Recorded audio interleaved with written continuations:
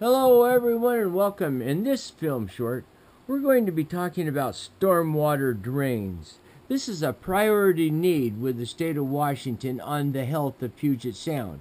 As you saw there on the screen, bubbles coming up out of the substrate in close to shore.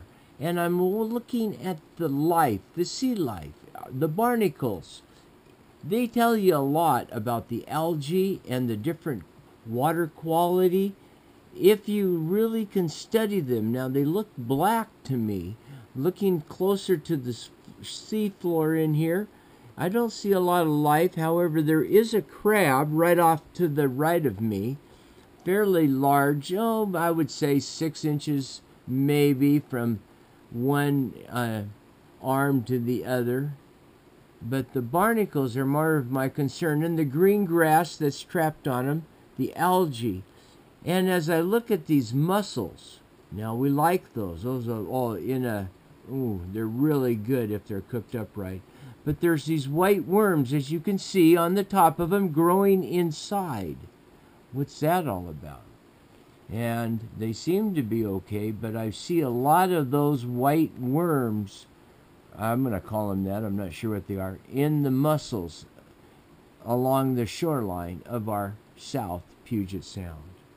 I'm not sure what that star-like thing either is. Uh, some type. It looks like a spider. It's a, uh, maybe an alien of some type. I can't really tell you. But if we take a look now at the what is that exactly? I'm trying to get a feel for it there. Um, interesting. You can't see it really yet, but it is going to come into the picture. Some type of urchin, a crab, a clam. It'll start moving. You see it there? You see his tentacle starting to move? There he is moving. Huh? Is that something or what? And it was hidden. You couldn't see it, could you?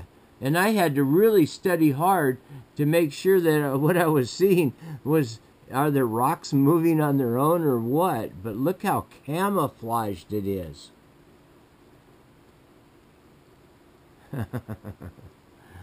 is that amazing or what? Let's see. I can probably give you an estimate of its size. Now, I'm not quite sure what it is.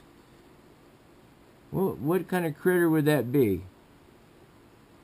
Pretty neat, though. He's got a couple of big eyes, big long feelers. I w- it wouldn't be a shrimp. It's probably a part of the shrimp family of some type, though, the crab family. Wouldn't be a lobster. Lobsters aren't in here. It lives in that big shell that it carries on its rear end. How'd you like to have that for a load? A diaper. That's what it looks like, a big diaper. But uh, now I can see his feelers there. Wait, let's see if we can move. Yeah, there we go. Okay, I got the camera moved. You know, right now, you don't realize the current on this outgoing tide is doing about six miles an hour. And for me to hold the camera drone straight and to hold in this current is hard to do. So bear with me. It will shake a little bit, but I'm looking to get the shot. And it seems like he's eating with a center arm. Doesn't it to you? Right there, that center arm, see it moving? Between his legs or claws or whatever.